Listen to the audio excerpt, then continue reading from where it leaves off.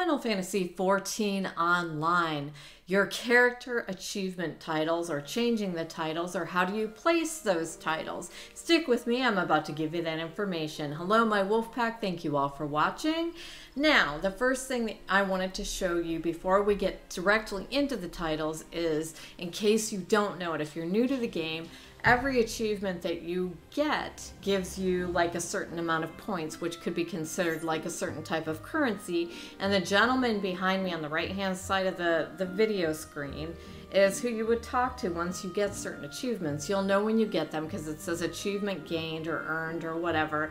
And then you would come and talk to him and he would give you those points or those currencies, however you would like to call it. And then you can exchange that for gear or barding or minions. Now, you can see here on the map, it's in New Gridania and it's the Achievement Exchange and the gentleman's name is John Jonathas? Jonathas? However you say that. Now let's get into the titles. You would press X on the PlayStation, go into character, and then go down to achievements.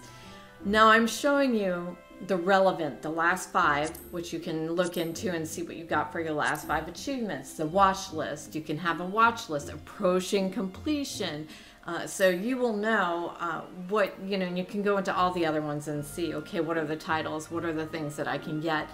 I'm showing you here Soul of Magic. That is what I have in my character right now. Now you look, it's completed and we go to the right hand side and it says claimed and Soul of Magic right there.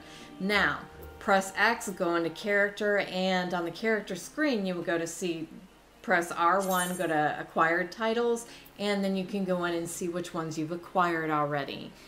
And depending on how long you've played the game, you would actually, you know, potentially have to go into a second screen. It took me some time, but that doesn't mean it's going to take you the same amount of time to get more than one uh, you know, uh, scrolling page of titles. You know, depending on how much you play, how fast you go through things, and um, that type of thing dictates how many titles earned, so to speak. And the heart of the party is probably one of the first ones that you will receive because it's through player commendations and I had to go to the second page to, to scroll up and then go over to see Soul of Magic. That's the one that I have. All you would do is press X, and if you're on the PC, click it. That's all you have to do. And those are the titles. That's how you put them on. That's how you change them. I hope you liked this video. Please remember to smash the like button and hit subscribe.